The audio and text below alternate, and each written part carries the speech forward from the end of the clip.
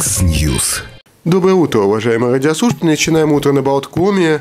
Как мы анонсировали, сегодня в гостях директор Латвии Залес Пункс Каспар Закулис. Добрый день. Доброе утро. Доброе утро, да.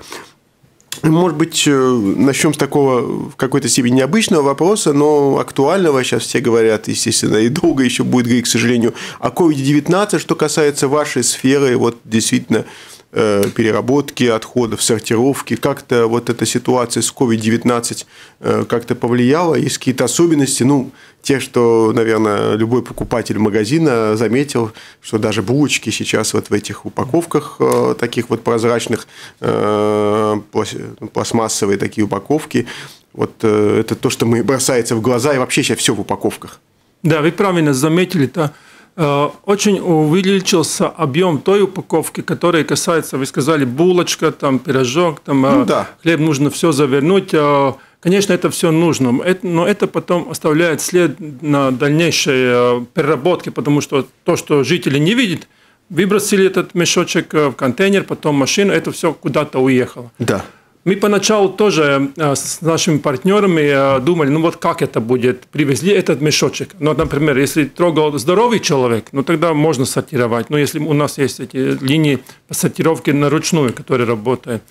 А если там был больной человек, ну что тогда делать? Ну, будем держать эти груза э, на улице там один-два дня, чтобы ну, этот вирус якобы умирает. Ну, Нету такая больше. есть версия. Такая да. версия да. есть, да. Ну, это мы, э, это мы э, смотрели, чтобы так было, потому что мы не можем, ну, как говорится, э, если кто-то заболел, нужно остановить завод. А что значит остановить мусороперерабатывающий завод? Рига, Это Латвия, будет утонет, утонет в мусоре, да. да. Слава богу, таких случаев у нас не было и э, работаем, чтобы было, было чисто. Э, да, ну вот э, что касается действительно вторичной переработки, чуть-чуть, может быть, попозже начнем. Вот все знают, что, ну, по крайней мере, те, кто следят за новостями, что вы такой действительно энтузиаст вот сортировки мусора. По-моему, по статистике уже 56% жителей ну, сортируют мусор. Ну, это уже... Это, это, это число каждый год меняется, а слава богу, повышается. Вот, я хотел сказать, то все-таки уже больше половины, уже есть прогресс. Что сейчас поменялось, может быть, в Риге, поскольку до недавнего времени Рига, наверное, была таким не самым, я бы сказал, позитивным образцом вот сортировки мусора. По крайней ну, мере, те, кто живут в микрорайонах, могут это подтвердить, да. Да, вы упомянули насчет а, ковида немножко, да, да. потому что были даже такие предложения или советы, чтобы те, которые больные люди, они не сортировали, чтобы весь мусор ложили в двойные мешки. Да, а, как-то закручивали. В том, да. в том числе и упаковку. Да. Потому что этот объем упаковки а, увеличился в таком плане, что люди больше живут дома, то есть дома употребляют продовольствие. В результате дома да, отходов больше. Дома отходы больше и индивидуальной упаковки больше. Если там раньше было предприятие, там покупалась а, упаковка, которая там побольше размером, а да. а сейчас люди живут дома, и а, объем упаковки увеличился. Угу. Да, вот а, что касается сортировки, э, что уже изменилось, если мы говорим о Риге, что будет меняться? В Риге, как вы знаете, конкурс был. Да. Выиграли, то есть победители известные, уже начинают работать. У каждого есть свои обязательства. Три компании. Три компании, да. два, четыре, четыре зоны и три да, компании. Три компании. И я знаю, что в договорах расписано, сколько э, и, э, и, и когда и до какого времени нужно поставить контейнера, контейнера для раздельного сбора. Это, это число должно увеличиться. увеличиться. Ну, я конечно, жду от людей инициативу, чтобы они запрашивали у своих Э, владельцев дома или которые э, обслуживают дом, чтобы те запрашивали э, контейнера для раздельного сбора у мусорных компаний. И тогда, конечно, больше это будет контейнера доступны жителям. Если мы говорим чуть по технологии, поясните, может быть, действительно тем, кто не знает, вот если, допустим, там три контейнера, да, это что значит? Три мусоровоза, мусоросборщика? Как ну, три контейнера, я думаю, что очень скоро будет уже э, в старину, э, да. скажем так. Э, сначала нужно посмотреть, что написано на контейнерах. Нормальная ситуация будет такая, что один контейнер для стекла, это только раздельно, ничего вместе с стеклом нельзя Конечно, ложить. Да. Другой контейнер будет для бумаги, пленки и металлические банки. Это будет, как говорится, легкая упаковка, которую можно сплющить, используя специальную машину. Это уже вторая машина. И я думаю, что вскоре будет э, третья машина, которая будет собирать э, то есть эти биологию, угу. биологические от, отходы. Ну и, конечно, четвертый контейнер – это для несортированного мусора. Так что машины будет, будут четыре. Угу. Да. Что касается стекла, ну, так считается, если я не прав, вы меня поправьте, что это самое такое вот, ну, подходящее вообще сырье для переработки. И, да, это правда, но есть и другие материалы, как, например, металлические банки, тоже очень хорошо перерабатывается стопроцентно полностью, также пластмассовые бутылки и картон, но это нужно, говорится, поставить в чистом виде. Ну, не так, что сели выпали пол бутылки, потом выбросили, а остальные бутылки должны быть э, пустые. Пустые. Да, угу. ну все, упаковка должна быть э, пустая. Не нужно, конечно, там использовать 3 литра горячей воды и еще пол бутылки ферри, чтобы это все промыть. Это не нужно делать. Главное освободить от, от больших частиц э, да. продовольствия. Э, перерабатывается ли это все в Латвии или это заводы за пределами нашей страны? Э, это часто мне задают вопросы, да. и я говорю так, это Латвия слишком маленькая, чтобы мы поставить на каждый материал свой завод. У нас просто не хватает объемов.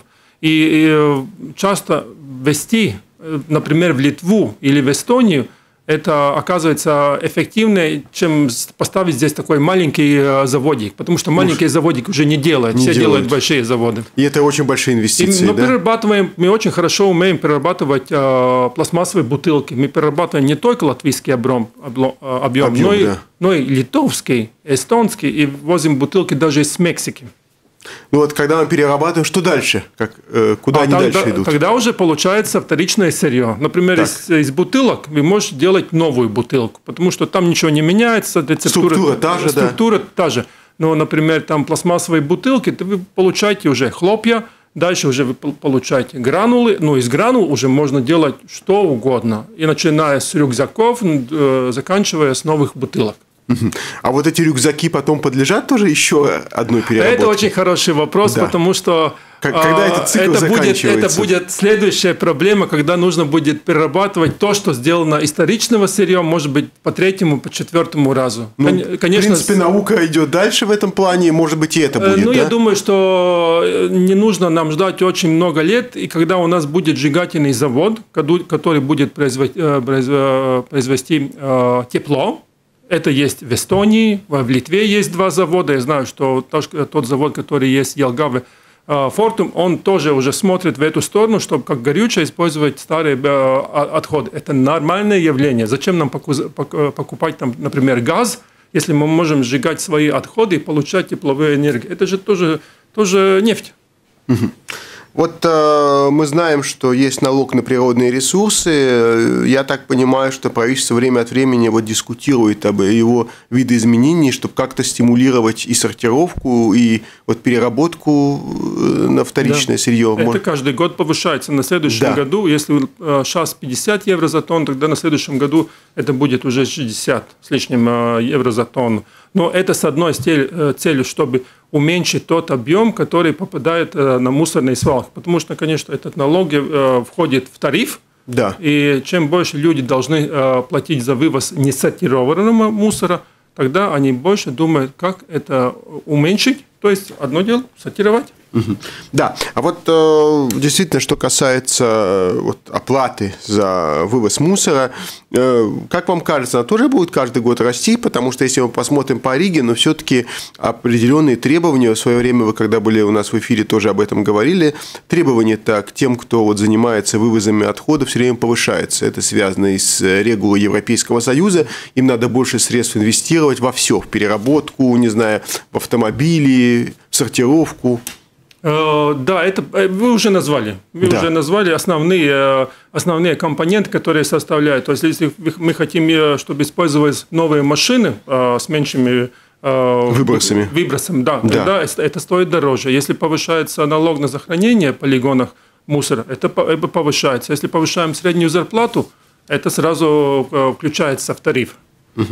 Вопрос, наверное, тоже, который вам часто задают жители, вот что касается, ну, к примеру, самая такая известная, это Гетлини, да, вот есть ли предел, как бы, сколько она вообще мусора может принять, потому что, ну, мы понимаем, что количество отходов вряд ли уменьшается, да, вот есть ли какой-то предел? Или поскольку это все утилизируется, можно принимать Нет, и принимать да. и принимать? Конечно, есть, есть предел. Гетлини наполняется очень быстро, но о точных цифрах ну, тогда нужно спросить у руководства Гетлини. Да, ну мы в принципе, Но да. я знаю, что они наполняются быстрее, чем, э, чем э, предположили. Угу. То есть нам нужно больше сортировать чтобы не нужно было потом строить новые, новые, новые полигоны. Угу. Вот что касается ваших наблюдений, ну, может быть, не только Рига, другие города, люди вообще, вот, не знаю, стали более сознательны, они понимают вот необходимость сортировки, или они не чувствуют э, вот вообще в этом потребность. Выкинули мусор в контейнер, и все, пускай там разбираются. Ну, хорошо, может быть, стекло – это отдельно, но все остальное, мне кажется, люди так вот этим вообще даже себя не заморачиваются, если так можно да. сказать. Да. Ну, зеленая точка работает уже, уже 20 лет на этом рынке. И сейчас уже выросло поколение, которое э, думает по-иному. То есть мы 20 лет начали учить детей, что, как, почему и нужно сортировать. И эти люди уже, как говорится, сами стали, стали родителями, и они по-другому слушаются своих детей. Они не думают, вот как лучше это сделать, а не так, как раньше было, нужно мне это или не нужно. Сейчас по-другому люди смотрят. И я э, хочу сказать, что э, то, что не Рига, да, это, как говорится, у нас делится Рига и остальная да. Латвия, да. Но э, так есть. А, да, в Риге ситуация была не самая лучшая из-за этого, то, что у нас это, вот, этот конкурс то оспаривался, то, то, это. А целое, мы смотрим, ситуация улучшается. Ну, в окрестностях лучше ситуация, потому что люди как-то ну, по-другому немножко относятся, друг друга знают. А да. В Риге вы знаете, кто живет на там, девятом или первом этаже? Не знаете. А... Зачастую нет, да. Не, а, а, Заходим в, в лифт и иногда ну, здороваемся, естественно, да, а потом думаем, мы же не знаем, это сосед или это просто кому-то в гости пришли, да. Да, а, ну, в Риге улучшается ситуация. Угу. Вот образовательный процесс вы упомянули. Считаете ли вы, что прямо, не знаю, с детского сада надо об этом говорить, да. вообще о да. об экологии, о зеленой среде, или это слишком сложно для детей? Нет, э, друг, э, для детей это очень легко, потому что они, для, для них это игр, как игра. Как игра. Вот это ложим туда, это ложим туда, это нужно делать потому, это нужно делать потому. Они поиграли, поиграли, все, запомнили эту игру. И, и потом уже... вырастут и... Да, и они, да, у меня учили, так нужно делать, и нет вопросов. Где мои контейнера, они спрашивают. Не так, как э, есть люди, которые спрашивают, а зачем мне это сортировать? Потому что их в школе не учили. На самом деле ведь ничего сложного там нет в сортировке мусора, да? Это начинается в уме. Это, как говорится, э, если мы что-то хотим, тогда способ это сделать всегда найдем. Это ведь, наверное, относится и к тому, вот, э, что мы оставляем после себя там на отдыхе. Это вроде бы такие уже хрестоматийные вопросы, но тем не менее каждый год, когда вот происходит вот этот вот, э, вот эта толока, да, или как раньше говорили субботник, все равно поражаешься, сколько же все-таки мусора еще остается, да? Ну да, да, я всегда удивляюсь, как, ну, пошел ты на в лес или на пляж своим мешком, ну, возьми это все обратно, почему ты оставляешь? Ну, ну, Кто-то же должен это забирать, да? Кто, да, ну, вот люди, Значит, еще нужно работать с образованием. Да, еще, наверное, такая одна проблема, по-моему, в свое время вы тоже об этом говорили, это вот такие вот крупногабаритные отходы, если так это можно сказать. Это не совсем отходы, но выбрасывают, не знаю, старые какие-то кровати, диваны. Ну ладно, холодильники у нас забирают практически те, кто привозит новый холодильник. Но вот что касается вот этих крупных отходов, понятно, что в контейнер ты их не поместишь и бросает там, не знаю, во дворе, в поле, возле мусорников оставляет все. Да, вот что с этим делать? Да, нормальная ситуация была бы такая, что э, в каждом городе, ну, например, в Риге, это, по-моему, должны быть где-то, как есть Пурцем, Спляуник, да. и тогда в каждом этом микрорайоне, микрорайоне должна быть э, площадка для Э, сортированного мусора, где я как житель могу э, привести. Конечно, это отличается ситуация многоэтажки и э, частные дома, потому что я знаю, что в тарифе включено большой говорит, что вы можете вынести, оставить эту свою кровать около э, площадки, и они должны э, забирать, то есть мусорная компания. Это включено в тариф. Когда вы живете в частном доме, тогда начинается проблема. А куда мне этот диван девать? В Риге это, конечно, большая проблема, потому что такие сортировочные площадки просто нет. нет. Но я знаю, что они должны э, быть в ближайшее ну, время, что должны построить. Но это очень много зависит от а, самоуправления. У нас сейчас есть новое, новое самоуправление Риги. Ну вот, когда вы встречаетесь с депутатами, спрашиваете, а где мне поставить свой старый диван? Очень простой вопрос. Где? Как где? Сортировочная площадка. Пожалуйста, где найдите место и а, и То есть, в принципе, для это. Новой Рижской думы это вот одна из задач, да? Э, я так надеюсь, да. Потому что в других городах это, это не такая проблема. Есть сортировочные площадки, где я могу отвезти свой старый диван и оставить там. Угу. Да, вот э, мы знаем, что таких вот советской постройки многоквартирные дома, чаще всего такие высокоэтажки, как мы их называем, там есть мусоропровод, ну, советских времен, да. Поэтому уж какая там сортировка? С одной стороны, это удобно. Вышел из двери, да, э, э, в подъезд, сбросил в мусоропровод все, что у тебя там собралось, и все.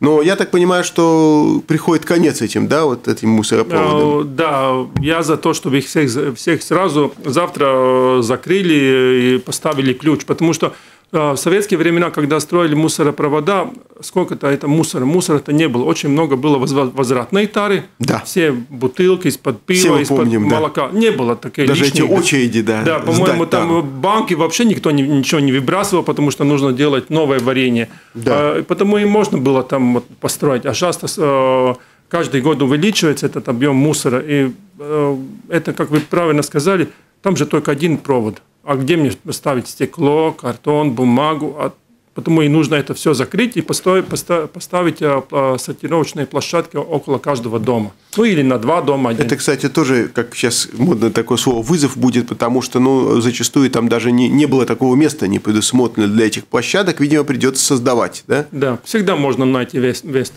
Угу. А, да, вот вы упомянули как раз вот сдачу тары, вот э, депозитная система – Э, когда она у нас заработает э, в э, полную силу? Все нормативные акты уже приняты, да. все описано. По-моему, с 22 года, да? Да, 22 года с 1 февраля. Сейчас угу. осенью должен провестись конкурс на оператора, кто будет руководить этой системой. Когда будем знать, кто победитель, тогда он сразу Э, возьмется за дело и будет э, сделать, делать эту систему. Угу. По-моему, в своих интервью вы часто ссылаетесь, наверное, на опыт Германии. Можно ли считать, что в Европейском Союзе Германия в этом отношении такая самая продвинутая, ну, с точки зрения вообще правильной утилизации отходов и так далее? Ну, с одной стороны, да, потому что там очень тщательно, как говорится, э, немецкая пунктуальность, она работает и в этой сфере, и они очень тщательно все это сортируют. Угу. Ну вот что мы нам нужно было перенять, что вам так вот приходит ну, в голову мы, сразу? Мы уже говорили, вы уже вначале спросили, да. сколько контейнеров. Да, вот, вот. нужно стекло, э, легкая упаковка, биология и э, раздел, ну, то есть несортированный мусор. И тогда вот эти площадки, куда вы можете отвести э, свой, ну, скажем так, холодильник да. э, или, или кровать старую.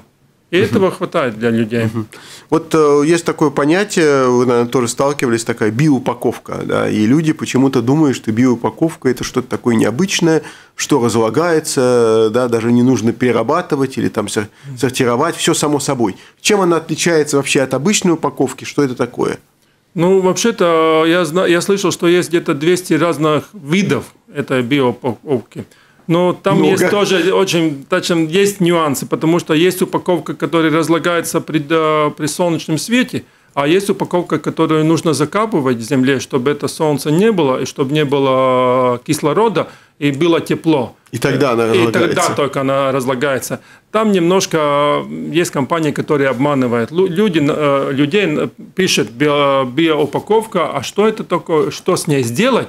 Закапывать или э, поставить на солнце, там не написано. Просто био и био, да? Био, да. Людям нравится, ну тогда покупайте био. Но это нужно делать э, нормативные акты, где четко расписано, что значит био и что с ним э, делать. Ну вот э, я думаю, многие обратили внимание, те, кто раньше пользовался, иногда это приходится вот этой пластмассовой одноразовой посудой, как мы считали. Кто-то, правда, их использовал не только один раз. Я имею в виду пластмассовые стаканчики, да. Вот эти пластмассовые тарелочки, иногда там на отдыхе, или ты куда-то приехал, не знаю, э, на дачу, и ты не хочешь таскать всю эту посуду, ты берешь, покупаешь, потом выбрасываешь. Сейчас я вижу, что в супермаркетах, это, видимо, требования Европейского Союза, они исчезли, их заменили вот эти бумажные, э, вот эти тарелки, я даже вижу такие деревянные есть ложечки и так далее. Что это меняет? Это легче перерабатывать, меньше загрязняет среду? Э, во-первых, э, пластмасса и бумага. Бумага разлагается при солнечном свете, и можно и сжигать, и получить да. энергию. Конечно, пластмассу тоже можно сжигать, но если пластмасса попадает э, в окружающую среду, она там будет, может быть, и 100, и 200 лет лежать. А бумажная тарелка – это уже 2-3 года, и там ничего не останется не больше. Останется, да. Да, и потому поменяются вот эти соломинки, которые у нас были пластмассовые, да. сейчас уже картонные делают – это нормальное явление, это требование Евросоюза, чтобы мы здесь не утонули в своих э, стаканчиках. И, и еще это, одно в принципе, дело, правильно, да? да? Если мы смотрим на загрязнение а, воды, да. когда эти все стаканчики, соломинки, это все плавает.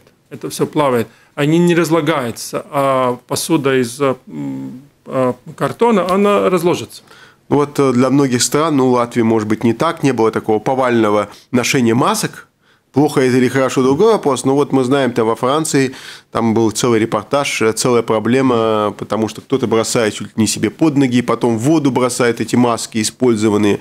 Э, что вообще, вот если мы говорим о масках, к примеру, учитывая их материалы, подлежат ли они Только переработке? Сжиганием. Только сжиганием. Только да? сжигание, потому что переработки там невозможно, потому что там есть э, разные материалы. То маска из картона, э, бумаги, то там какая-то пластмассовая втулка ну, для дыхания, там да. еще эти резиновые шнурки есть. Это Респираторы только, с пластмассовыми да, ну, разными. Я не знаю, да. кто эту маску одевал, больной или здоровый. То есть только сжигание, это сжигание, одноразовое, ну, ну, не да? так просто костер, но да. сжигание через получение тепловой энергии. Угу. Ну, то есть, по существу, если мы говорим, чтобы, условно говоря, не сжигалось и не перерабатывалось, все это используется, все это практически подлежит вторичному использованию, да? Ну, или получаем э, вторичное сырье, да, или, или получаем тепловую энергию. тепловую энергию. Потому я все время говорю, тепловая энергия, просто если, если я скажу сжигать, о, ну давай делаем костер, сжигаем. Нет, Нет неправильно. тепловая энергия. Да. Да. Вот э, упомянули э, костер, ну, я думаю, что каждый раз мы это наблюдаем. Э, запах так на любителей, когда сжигаются там листья, еще какие-то отходы в домах, чаще всего в частных. И это и небезопасно. Почему это происходит? Я не знаю. Не могут каким-то образом по-другому это отвести, все эти, не знаю, ветки, еще какие-то отходы. Почему начинают вот костры разводить? Ну, я, например, живу в частном доме. Я да. то, что все могу, я ложу в компост. Угу. Каждый год ставлю свой ящик да. и наполняю, пусть там останется, и на следующем году разбираю это все добро на, на, на эти на цветочные эти грядки, э, да. Да, рядки, да. Это ведь не так-то сложно, на самом Но деле. листья я собираю пластмассовые мешки. Каждую э, осенью Рижская, Рижская дума делает эту акцию по сбору листьев. Там четыре, угу. они, то есть ну, суббота, воскресенье. Я знаю, где будет машина, это расписано. Мы возим свои листья. Я знаю, что мои соседи это тоже делают. Ну, конечно, я понимаю, есть люди, которые, например, ну, вот пожилые люди, нет у них транспорта, тогда им, им трудно, и тогда они ну, пытаются как, каким-то э, способом избавиться, избавиться да, и тогда они сжигают. Это, угу. конечно, ну, как говорили, выбрали, это небезопасно. Небезопасно, это тоже, наверное, сигнал к Рижской думе, что, может быть, действительно пожилые люди как-то, чтобы к ним приезжали и забирали вот а, это все. Конечно, есть вариант. А, вы можете покупать эти специальные мешки для биологии. Да. Но не все могут это себе позволить, если он живет в один, а, только на пенсию довольно дорогие. Это довольно дорогая услуга. Дорогая, да. Ну, вот эти вот мешки, э, они тоже подлежат вторичной переработке, сами мешки? А, мешки, да, потому что если это, это, это полиэтилен, это да. можно утилизировать. Еще, наверное, одна проблема. Я помню, что вы тоже, наверное, в каком-то одном из своих интервью на это обращаю внимание. Это все, что связано с текстильным производством, потому что, ну, у всех у нас в процессе жизни накапливается какая-то одежда, да, не знаю, у женщин, не знаю, вышла из моды, э, сносили, э, стало размер не тот и так далее. И тогда люди думают, что с этим вообще делать. Да? Ну, не знаю, один из таких э, частых явление. Мы видим уже контейнеры, очень такие гуманитарной помощи, скажем так, mm-hmm. малоимущим. Люди складывают эту одежду и вот э, отдают вот на благотворительность. Ну, мало ли, сейчас не так многие занимаются, нет комиссионных магазинов, продажа, да, но в основном вот отдают на благотворительность или просто выбрасывают. Вот что с этим делать? Будет ли, может быть, еще один контейнер для этого текстиля? А, статистика показывает, что 87% всех э, изношенных текстилей э, увозится полигон, то есть на захоронение. А, но в том же мере э, люди, когда мы делали опрос, 89% сказали, мы готовы сортировать текстили, но только дайте возможность, дайте нам эти контейнера. Угу. Вы правильно сказали, что до сих пор это было как благотворительность, только очень узкий круг. То есть несите только самые хорошие, да. лучшие, новые, чистые, да. чистые отдадим другим. Но а что делать с остальным, которое изношенное? А, выбрасывать, отвести в мусорный полигон. Есть, да, это можно делать, но самое лучшее ли это решение? И а, Евросоюз решил, что до 2025 года нужно построить систему, которая позволит людям собирать раздельно текстилей. И потом нужно сделать, чтобы это можно было собрать, э, пересортировать, обработать и дальше уже переработать. И то, что мы начали уже в прошлом году, мы сделали пилот-проект, начиная с сентября до этого февраля, 6 месяцев расставили 20 контейнеров, и, э, и, и ну, то есть позволили людям выбрасывать всякого рода текстилей, то есть старую одежду, и обувь, и э, простыни, и полотенца, все, что является текстилем. И э, делали анализ, что же люди приносят. Было 108 тонн, э, то, что мы собрали в общей сложности, сортировали. И были одежды, которые можно было отдавать сразу другим носить, и была, конечно, такая одежда, которую нужно было вести полигон, которая, ну, там... А что-то там с можно... маслом... С... Понятно. А что-то там можно вторично перерабатывать или из текстиля? Да, можно, можно, но нужно собрать, как говорится, критическую массу, чтобы поставить, поставить завод. Это уже мы так, знаем, что будем делать, нужно где-то порядка 5000 тонн собрать Я думаю, что со временем это будет, да, потому что мы видим, да, что одежды что, очень много производится. Да, мы, мы изучали, э, изучали пример Франции, да. где уже собирается 37% из всех, из всех текстилей. Э, и очень они хорошо, уже это все так отлажено вместе э, с каждым самоуправлением – там э, а, оборудовано место, где можно отнести, и также есть эти э, предприятия, которые, говорится, социальный бизнес это называется. Много там не заработаешь, но но это полезно для общества. общества и да. для этого там даются им налоги, э, скидки по налогам да, и, да, так далее, и так далее. Ну, у них преимущество то, что у них не столько много вторичного, то есть second-hand, как да. у нас. У нас в Латвии поставляется 27 тысяч, э, в среднем 27 тысяч тонн каждый год текстилей. Но из этих текстилей где-то половина секонд-хенда. Ужас. То уже, уже старая одежда. То есть получается где-то 14 килограммов на, на одну душу населения. Ну, то есть, что вторичная такая да, да, одежда. Это уже, уже, ну, что делать с вторичным? Да, это очень большой, как говорится, я иногда говорю, что Латвия является мусорным полигоном для Англии, для английских э, текстилей. Угу. А вот для переработки вторичной э, имеет значение вот э, из какого материала все-таки эта одежда сделана, потому что там, не знаю, шелк или шерсть, или этот полиамид искусственный. Это все нужно сортировать, и при том, при том а, резиновые сапоги, наверное, ручную, да, потому да. что вы должны поставить, как говорите, шерсть в одну кучу, там хлопок в другую кучу, и нужно, нам нужно снять пуговицы, Кстати. молнии, да. А, и разделить. Еще какие-то заклепки, заклепки всякие да, разные. Да, это все нужно разделить. И, и потом только можно думать насчет переработки, когда, когда у вас будет однородный материал. Угу. Вот это, наверное, специфическое явление, но вот э, не так часто, но, может быть, в масштабах страны часто. Ну, все-таки время от времени люди меняют холодильники, телевизоры, вот, э, не знаю, печки, такое оборудование довольно сложное, современное. Что с ним дальше происходит? Ну, вот после тоже, того, тоже перерабатывается, потому То что... и это можно переработать, потому что, да? Да, потому что любое э, электрооборудование, ну, как раньше телевизор стоял, деревянная коробка, да. и, и это экран. Стек, экран, экран из стекла. Сейчас уже появилась пластмасса, то, что есть. Ну, как содержит металл, пластмасса, э, стекло, ну, дерево, это уже все ушло, нету. И микросхем. Это все очень хорошо разбирается. Э, технологии есть разные э, и потом можно перерабатывать. Это, наверное, относится, не знаю, к автомобилям тоже, да? Конечно.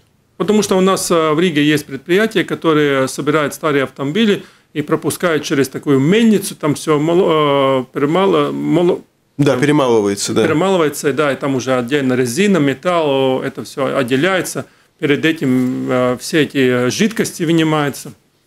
Вот э, вы упомянули резину, а некоторое время назад мы знаем, какие были проблемы, даже пожар был вот э, там, где вот старые шины вот эти собираются. Э, как эту проблему вообще решить? Потому что, в принципе, это весьма опасно. Да, старые шины являются опасными отходами. Э, каждый год по статистике официально поставляется на рынок 15 тысяч тонн, но по другой статистике это где-то 22, даже 25 тысяч тонн шин, которые поставляются на рынок – и э, норма, норма регенерации, то есть сбора и утилизации, то, что поставил государство, это 65%. Но я знаю, что это, эта норма будет повышаться, то есть мы должны будем больше собирать обратно, потому что когда вы покупаете новую шину, э, на природе остается где-то 7-8%, то есть от резины, которая ну, уходит, когда вы едете по дороге, это остается в канавах, скажем так, или э, в лугах окружающих, которые окружают автомагистрали. Э, да, это, это была проблема, но это, это с каждым годом улучшается, потому что наше учреждение, которое есть Валс Видесденест, да. она все лучше и лучше делает свою работу. И такое явление, что там э, что-то не собирается или только на бумаге собирается, это уже уходит в прошлом. Уходим в прошлом. Но у нас есть люди, которые ну, стараются, например, купить шины, чем возможно, тем дешевле, например, через интернет – и эти шины, вот как говорится, это серая зона, которая не учитывается. Не учитывается. И не да. учитывается, и никто за них не ответственный. Угу. И, например, а, шины, которые находятся на автомобиле, которые возятся. Сейчас пока, пока закон не, не говорит, что эти шины тоже должны учитываться отдельно, и кто-то должен за них то есть, сделать сбор. Это где-то 4 тысячи шин, которые поставляются вот просто так, и никто, никак. И вот тогда вы хотите оставить свои шины, а, а куда дел, э, ложить? Вы Это серьезная проблема. Сервис, да? нормальный сервис, но должна быть ситуация такая, что вы должны новые шины покупать там, где у вас собирается, сразу отдавайте старые шины бесплатно. Так вот, же, как холодильник. Вот такая система должна быть, да? Мы на это идем. Угу. Потому что, ну, отдельные сервисы, я знаю, э, что они этим занимаются, да, то есть ты я отдаешь... говорю, можно штрафовать все сервисы, извините, да, да, э, но если вы не можете вот такую услугу делать, тогда что-то в вашей деятельности неправильно. Э, да, абсолютно справедливо. Вот раз вы упомянули Ваус Видес Денес, вот загрязнение среды, мы знаем, что есть вот три вида, если я не ошибаюсь, этих атлеров, разрешения А, Б и С. Да, вот э, ну, многие предприниматели э, жалуются, их, наверное, тоже можно понять, что зачастую это очень длительная бюрократическая процедура, ну, которая вроде мешает бизнесу, даже там, где понятно, что практически загрязнений нет или она минимальная. Мы не говорим сейчас о радиоактивных отходах каких-то. Да? Вот как вы считаете, эту систему нужно либерализовать или, наоборот, еще больше ужесточить? Ну, конечно, каждую систему нужно иногда пересматривать и э, смотреть, э, чтобы ну, было и хорошо окружающей среды, но нельзя просто так. Вам нужно а, разрешение на вам, вам да. по-быстрому так. Да, заплатил а, и получил. А, построил да. завод, и там выходит черный дым, и потом люди начинают жаловаться, оказывается, что-то кто-то что-то не посмотрел. У нас есть, ну, не буду, где не посмотрели, не да. было контроля. А, ну, конечно, нужно пересмотреть, может быть, иногда через чур, через чур, например, вот эти шины даже – а, новые шины, когда продаются новые шины, это не опасные. Можно ставить там где угодно, как удобно. Как только Если вы... их не поджигать специально, да. Да, да как Если вы только не... сняли с машины, сразу это становится опасным, и там сразу там нужно асфальтированное это, это, это, это, канализация, все это. А когда новая шина, никто это не спрашивает. Это так иногда я задумываюсь, ну как же так? Как же Или так? холодильник, например. Когда старый, тогда он очень и очень опасный. Когда он новый, вообще не опасный. А как? почему? А почему, да. Да, это, кстати, хороший вопрос. Ну, видите, это, это уже не valsts видес dienesta э, сфера деятельности, это уже тот, который издает закон. Конечно. Valsts видес dienesta только смотрит, как только закон за исполнением, да, конечно. за исполнением. Да, да, да. А что касается вот особо опасных радиоактивных отходов, э, здесь нужно ли что-то ужесточать или здесь более-менее все уже упорядочено, законодательство и все остальное? Ну, я так не слышал, чтобы у нас в этом плане были какие-то особенные вот такие ну, Проблемы, ну, большие да? случаи. Ну, шины, когда, да, или мусор, э, когда сжигали, да, ну, не сжигали, ну, я думаю, что это же поджигали а, специально. Думаю, да. А, Похоже, что это, да. это было, но вот так радиоактивное, ну вот у нас нету, не такая зона, нет, нету не таких заводов, ну, я не слышал. Угу. Вот э, может быть, такой вопрос уже подводя какой-то итог нашей беседы. Что вообще вы видите, куда дальше будет вот это вот, э, не знаю, даже можно сказать, какой-то степени культура вот, э, окружающей среды, куда она дальше будет развиваться, вот, и куда Латвии нужно стремиться, и вообще жителям Латвии, что нужно понимать, вот, что дальше будет происходить? Земля у нас дана одна, и если мы хотим, чтобы наши потомки жили говорится, и дышали свежим воздухом, тогда сегодня уже нам самим нужно это, этому руку приложить. И не нужно искать там а, отговорки, там нету мусорного бака, так, или это неудобно, или это слишком дорого. Нужно подумать а, вперед. И а, действия уже нужно делать сегодня и самим, а не ждать, когда придет этот белый медведь и что-то за нас сделает. Угу. Ну, то есть, в принципе, люди тоже должны наверное, понимать, что да, растет уровень, если так можно сказать, и комфорта в какой-то степени, потому что вот есть контейнеры, есть те, кто мусор забирает, там, не знаю, иногда за тебя сортирует, дальше утилизирует, перерабатывает. Ну и каждый житель Латвии тоже должен действительно этим озаботиться. И растет да? ответственность. Угу. То есть вы думаете, что тут уже с молодым поколением таких проблем не будет, да? То есть они уже... С каждым годом это, как говорится, смотрение зеленую сторону, она улучшается и укрепляется. И люди больше и больше задумываются. Есть даже такие, которые там замораживают свой, свой мусор, чтобы потом отвезти там, на деревню. Но это может, может быть э, немножко чересчур, потому что электричество тоже нужно для, э, э, для этого использовать. Но людям всегда нужно посмотреть, что лучше я еще могу сделать со своим мусором, чем просто бросить все в один бак.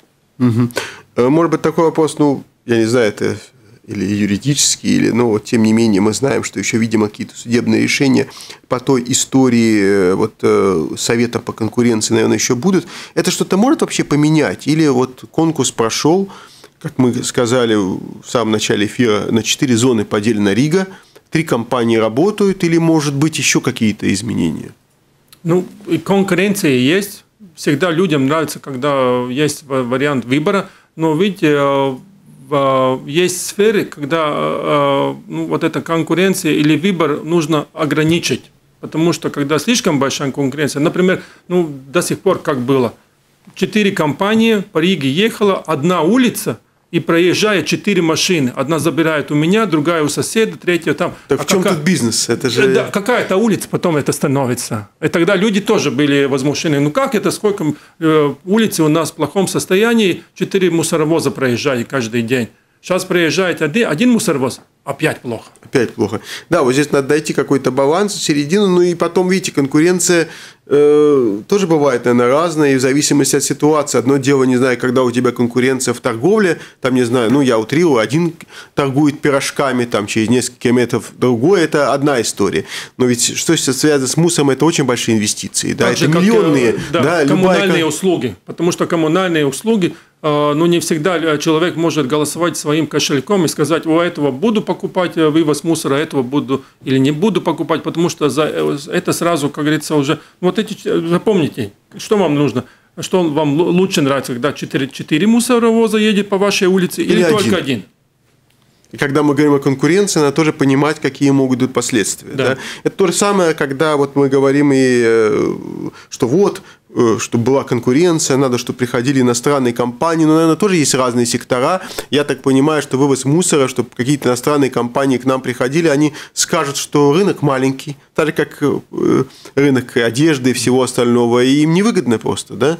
Э, ну, в какой-то мере да. Но я всегда предпочитаю, если есть возможность, тогда дайте лучше работу местным предпринимателям. А, кстати, тоже интересно. Я так понимаю, что довольно много людей вообще в этой сфере работает. Там сфера дает много рабочих мест, да? Вот вы говорите, что даже э, вручную происходит сортировка многих э, да, отходов. Ну, я так полагаю, что в общей мусороперерабатывающей сфере в Латвии э, где-то тысяч, пару тысяч людей работает, да. Ну, ну и, конечно, обслуживающие тоже. Ну, то есть, фактически где-то 2-3 тысячи, рынок, наверное, да. получается, большой да? Рынок, да? Спасибо большое. Каспар Закулис у нас был э, в студии, директор Латвии Залис Пункс. Ну что, будем думать о себе, о окружающих. Делать. И делать, самое главное. Не только думать. Спасибо большое.